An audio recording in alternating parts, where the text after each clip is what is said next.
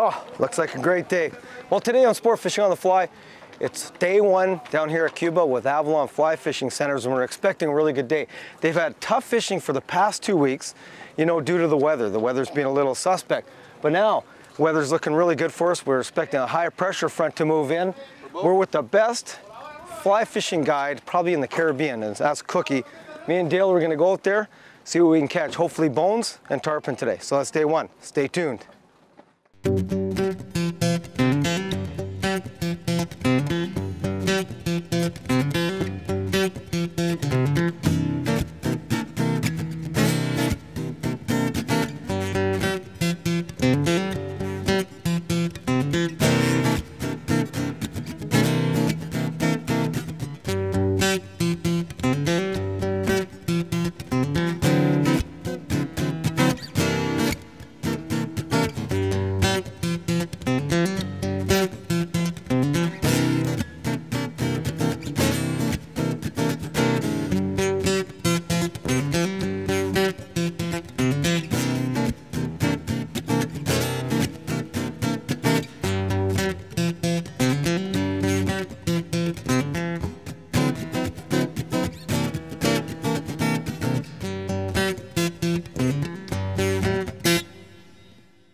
Sport Fishing on the Fly is brought to you in part by Islander Reels, Precision Reels.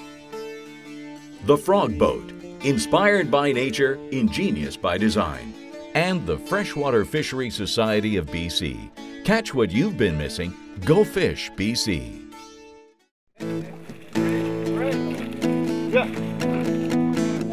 So those are the tarpon leaders too.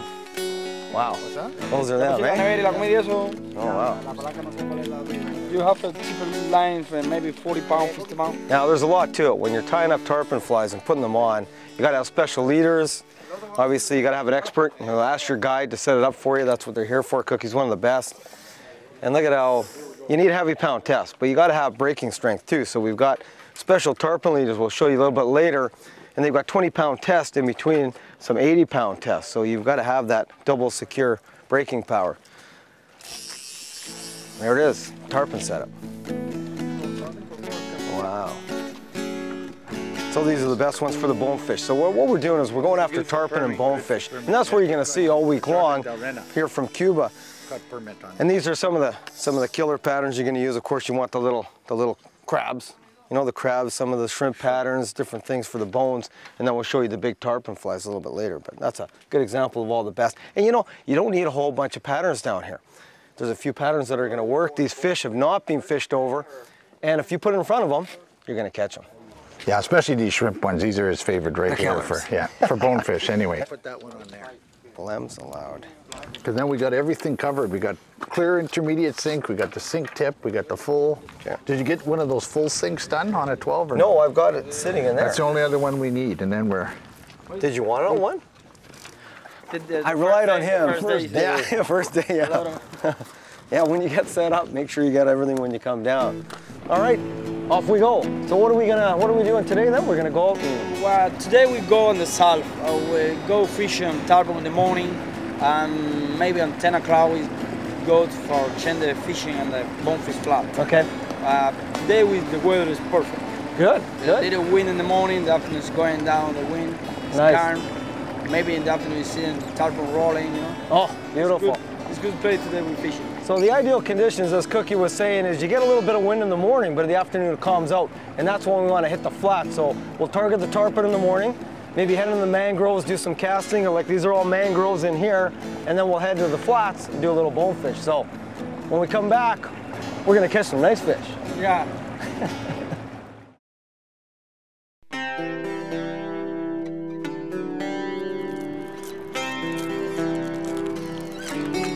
The wind is a blowing. Oh, and you can't see. That's the best thing. You gotta wait for it to calm down. You know, we got high winds right now, and that's just what you have to deal with sometimes.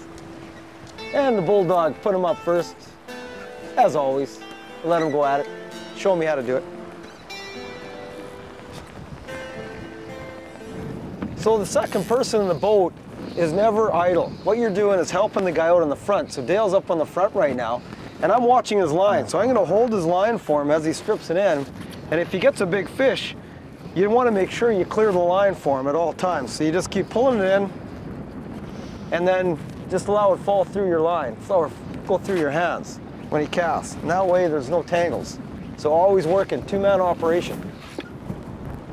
It's clear water. Oh, so that's what you're fishing, but it's usually calm, right? This, Yeah. And there'll be the big hundred pounders in this. When you see them come, it'll be really remarkable Yeah. when you see them. And they come in schools, eh? Cookie, our guide, he's up top. He's seen a school of tarpon coming up. And we're gonna move them on Is that in. them right Looks here? like it's right in front of us here about 12 o'clock. And we're after the baby tarpon. And what we mean by baby tarpon is, you know, that 10 to 20, 30 pound range Oh, yes, potentially. there's 40 tarpon might be able to- 40. Cookie says there's about 40 tarpon there. So we're gonna go right into them. Cast now. Okay. That So now Dale's right gonna there, cast. Yeah. I see them right there. Yeah. Two in front. And always listen to your guide. Coming? You Uh, tell me. 10 o'clock. Cast 10 o'clock. And always one person, obviously, you can see Dale's up, one guy at a time. And that's just the way it is. You Okay, know, I'll the have guy helps grab over the line line. now, I I wasn't doing my job. The other way, yeah. Put it, stack it right by your Okay, feet. yep. Got to watch the line. You're always clearing the line for the guy casting. So keep it down by your feet and make sure it doesn't tangle. When he's casting, let it float through your, your hands and make sure he's not stepping on his line. If he is, let him know. Because once you hook one of those tarpon, if you're standing on your line, bye-bye. It's gone.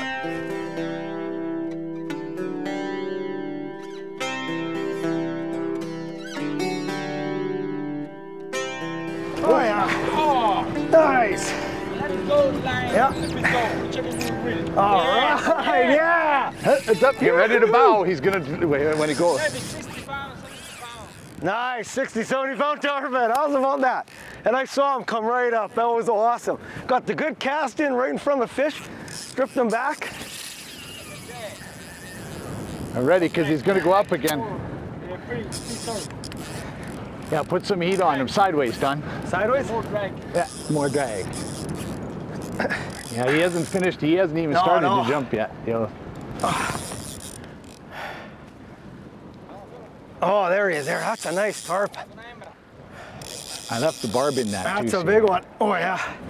Oh, there he is out there. If you can see him, right in front of us. Oh, look at that. Yeah. Right in the, right in the top. That's funny. He wasn't a jumper. Oh, he jumped once. Yeah, that was it. Tail.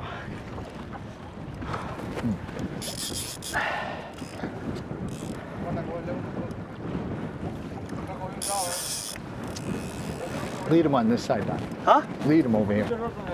Yeah. yeah. That'll pull him back. Maybe jump. Yeah, I can't believe he hasn't. Wow. That's a nice tarpon.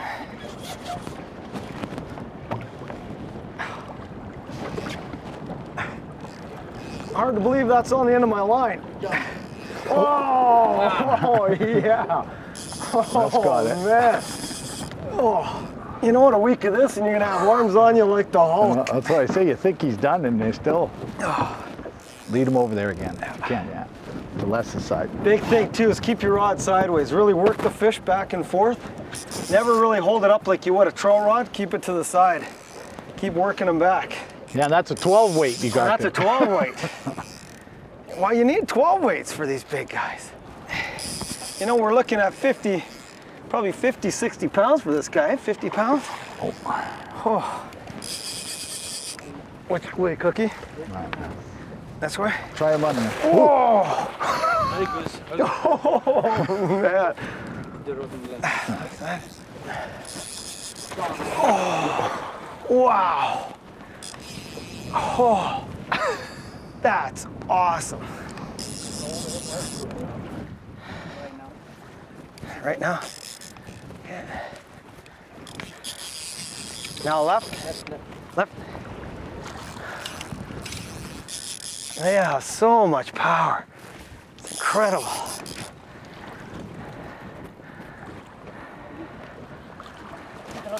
Okay, run down. Okay, get up there, Don. for Okay. you. Okay, you got it? You can hold it. Oh, yeah. How's that? How big is oh, it, Cookie? It's a 65. 65? Want me to help you? Or? Yeah. you got it. Oh. You got it.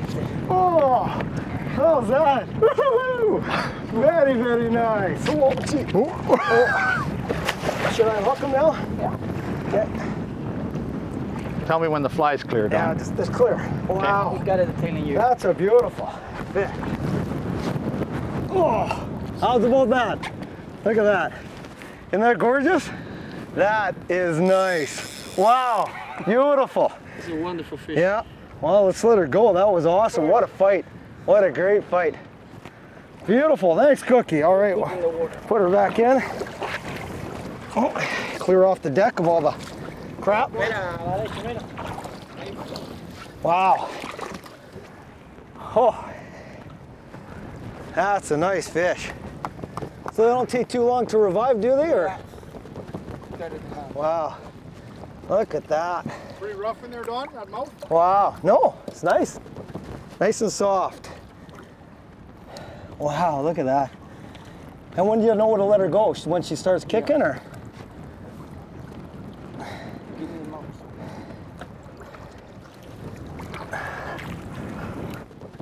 All right, Cookie's gonna let him go. Is he ready?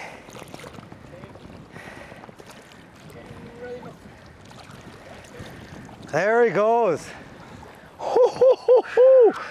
How's about that, buddy? Great job. Nice. What, a 65 pounds? 65 pound, yeah. And we're going after babies. Now that that's a little bit bigger than a baby. Yeah. That's mid-size, mid-size. So that's a great way to start when we come back. Some more tarpon here with the boys at Avalon Fly Fishing Centers. It's fantastic down here in Cuba. Yeah. Great job. Whew. You stoked.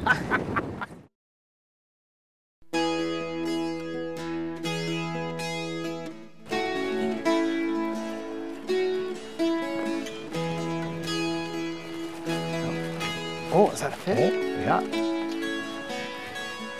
He's biting at it.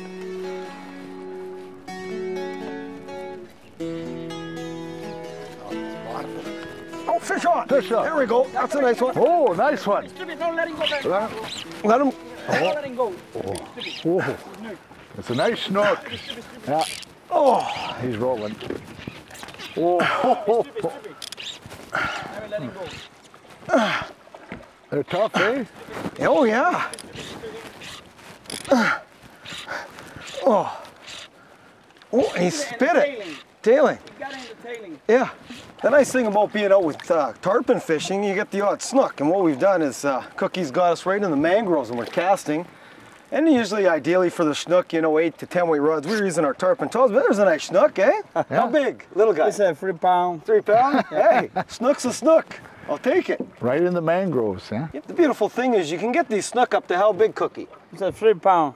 Yeah, No, how big how can big we can- get them? But here is a 15 pound. 15 pound snook, so you can get some big snook in here. So again, heavy rods, 10 weight rods probably preferable, but we'll let that guy go. Look at the mouth. Yeah, look at the mouth on them. They're just huge.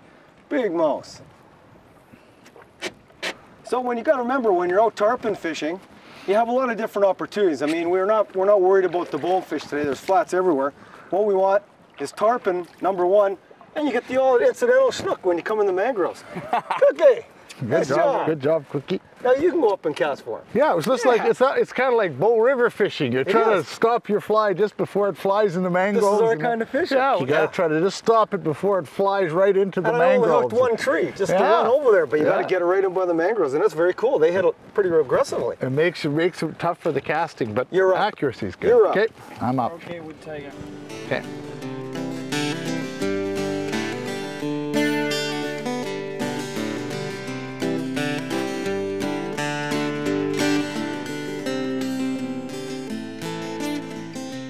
Today on the bench, I'm going to tie you up the Black Death Tarpon Bunny. Now, if you want a really good effective pattern to use on the flats, and especially fishing in the mangroves or just off the edge of the mangroves, this is the fly for you. Make sure you have these materials ready before you tie the fly. For the hook, we'll use a Mustad C70 SD 2-aught. some 3-aught black thread to tie with along with some hot pink mono to finish off the head, some hologram stick-on gold eyes for the eyes, some black rabbit strip for the tail, some black tipped red rabbit strips for the body, and hard as nails lacquer to finish off the head. I started the fly off by tying in my thread and I've also taken some 20 pound test and tied in a 20 pound test tail guard on the back. Again, it's optional. Some people don't like it, but I prefer it. It stops my rabbit from getting hooked up. So to start the fly off, I'm going to take some black rabbit and extend a small tail out the back. And again, make it about as long as the hook. So the hook is, you know, an inch and a half long. And I'm going to tie in some black rabbit right at the tail and to form the tail. Now that the black tail is tied in and my thread is net the rear of the hook, I'm going to take my red rabbit and tie it in right at the rear of the hook. And make sure you tie it in good because we're going to be wrapping this forward a few wraps to form the body. Now only bring your thread up about halfway up the hook. That's where we're actually going to tie off, about halfway up the hook. And take your rabbit and as you wrap it forward, keep pulling the rabbit back. You want to form a really pulled back tapered body on this fly. And it usually takes about three or four rabbit pulls around the hook to form the, the body of the fly. And then tie off about halfway up the hook. Now if you've done things correctly, you should be about halfway up the hook with the black thread still on. What we're going to do is whip finish off that black thread and then we're going to actually take our hot pink mono, which is a lot thicker, thicker thread, and tie it in. And once we tie it in, we'll form a real nice head on this fly. And we'll make the, the head of the fly quite large. Now that I've tied in the head with the hot pink mono and built it up quite, quite a bit, so you've got quite a big pink head on that fly, I'm going to take two of my hologram prismatic eyes and we're going to stick them on either side. So stick one on one side, take another, and stick it on the other side. And once you have your eyes on and in place, we're going to take our hard as nails finish and pour this over the fly. Essentially put this right over that, that uh, material we tied in, the mono, and cover up the eyes. And this is going to seal those eyes right onto the fly. To finish the fly off, continually lacquering that head for probably two or three more times. I like to put a good, good coat of lacquer on there. It's nice to rotate the fly as you put the lacquer on to keep it from, you know, balling up, but do probably do about two or three sets, allow the fly to set overnight and then put another set of lacquer on. And then also trim the tail to length till it's about hook and a half length out the back. So there it is, the finished black death tarpon bunny. Now there's many different patterns you can tie in this tarpon bunny style. Uh, the two most effective that we found is the black and the red and the black and the chartreuse. Two very effective patterns in Cuba.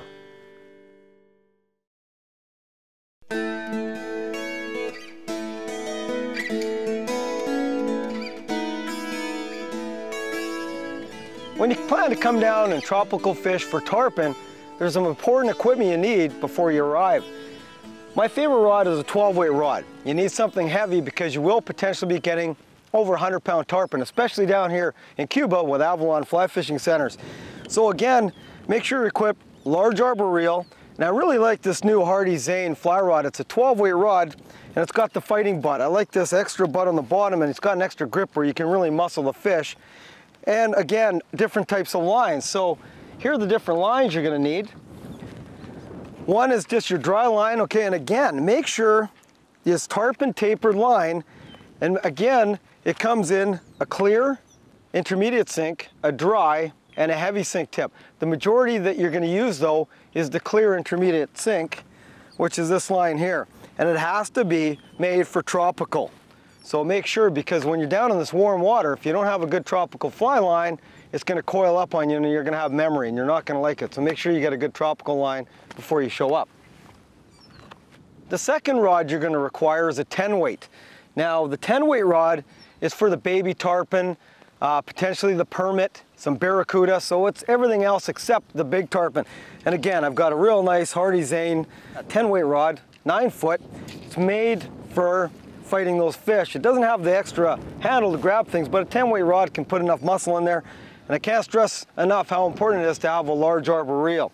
Again, the same fly lines. Get a 10 weight dry, preferably with a little bit of a sink tip on it, and a 10 weight intermediate clear sink. So remember, before you come down to the tropics, two main rods you need for tarpon, 10 weight for the baby tarpon, and a 12 weight for the big boys.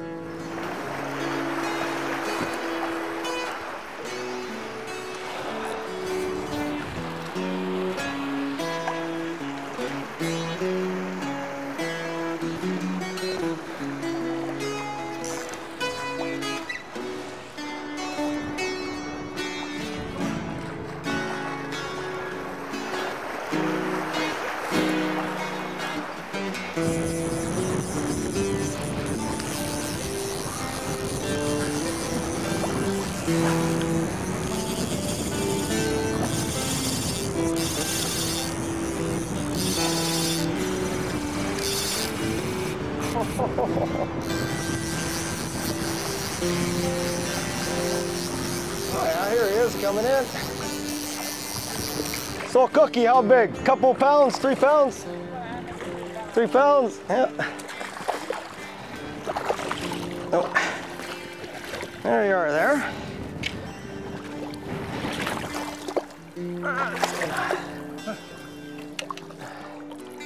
Oh yeah. Look at that there. Isn't that nice?